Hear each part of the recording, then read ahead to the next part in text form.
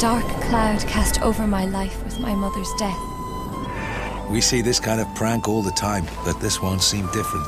My only memory of her is telling me about the village of Doolin. I headed to the village of Doolin. The village where the living could meet the dead.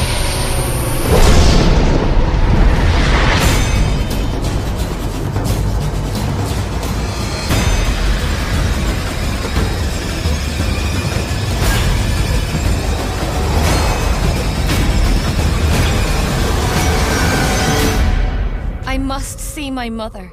If there is any chance of finding her, I can face any danger.